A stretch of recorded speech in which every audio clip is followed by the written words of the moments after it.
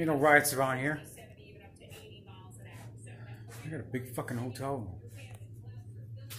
I even got a fucking couch.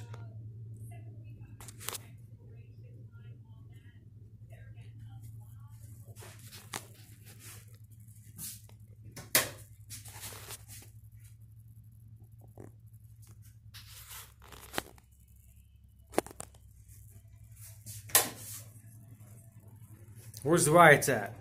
I need some action. There ain't shit happening here in South Dakota.